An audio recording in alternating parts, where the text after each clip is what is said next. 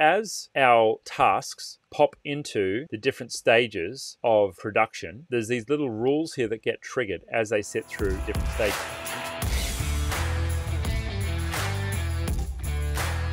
Can I share some helpful Asana automations? Oh boy, I'll show you one now. This is our production board, or one of our production boards. This is called our create board. We like using Kanban boards in our business. So this is how we take ideas from raw idea right through to completion. Now you can see a lot of these columns are empty right now because I've got a filter set so it only shows me my tasks. I'll remove that filter. You can see here as we go through each stage. Now the thing is, as our tasks pop into the different stages of production, there's these little rules here that get triggered as they sit through different stages. So, for example, when a feature gets to this stage, Riley copy review. Riley's our head strategist for YouTube. A couple of rules run. So, assign task, I assume that's going to assign the task to Riley. Yes, it is. And it's going to remove me as a collaborator because basically, if I've given it to Riley, then I don't want to get updates. I just want to get updates once he puts it in, you know, my bucket, right?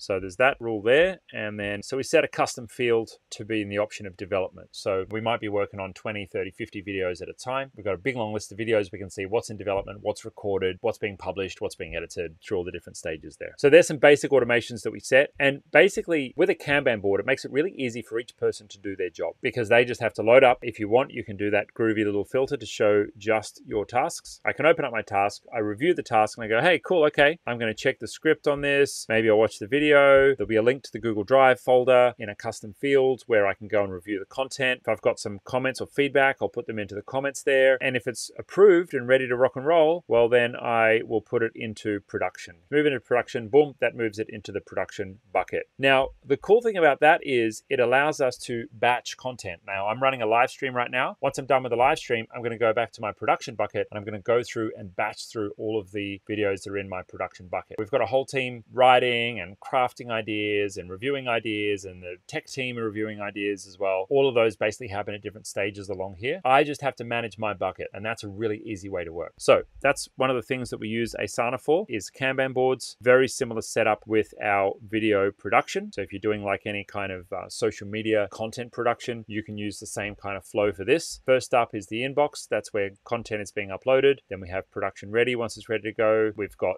multiple different editors where something can sit in production in an editor's bucket. Title thumbnail finalization goes there. And then you can see here it goes through a number of stages of review. It gets to my final review bucket. That's the only one that I'm responsible for. I give it the final review, and then once it's reviewed and approved, boom, we drop it into publishing. So it gets assigned to G, that's uh, Georgia. If it's a certain channel, it gets assigned to someone else. And then the final task is adds an additional collaborator, Riley. So that's some basics in Asana. We may run a Asana masterclass at some point. If you're interested in that, let me know in the comments because we love Asana and we use it a lot. If you need more help with what we've covered in this video, IT Genius provides support services to businesses all over the world with problems just like this. Click the link below to get started.